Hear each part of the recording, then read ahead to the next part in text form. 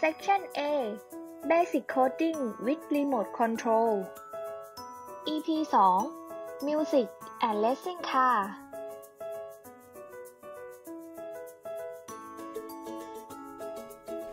สวัสดีค่ะ สำหรับ EP นี้นะคะ เราจะมาสอนวิธีการใช้งาน Matatalab นะคะ กับปุ่มดนตรีนะคะ แล้วก็การใช้งาน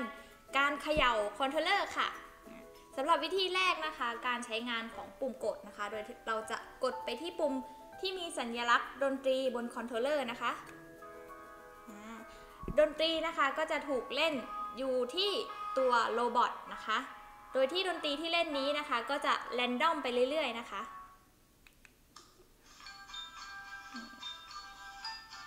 ประมาณนี้นั่นเองค่ะ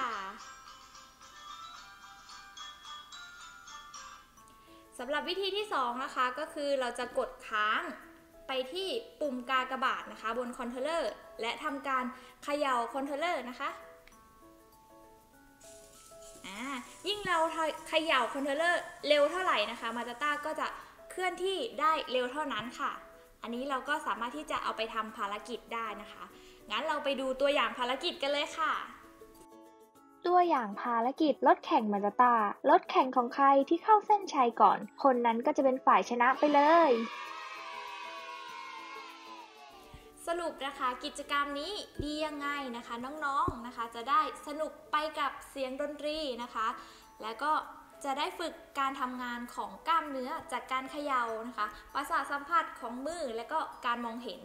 สุดท้ายนะคะน้องๆ จะได้รู้จักกับเซ็นเซอร์ตรวจจับการเขย่านั่นเองค่ะ กิจกรรมนี้สนุกไหมคะน้องๆ ก็จบไปแล้วนะคะสำหรับคลิปนี้ ถ้าน้องๆ คนไหนมีคำถามสามารถคอมเมนต์ไว้ที่ข้างล่างได้เลยค่ะ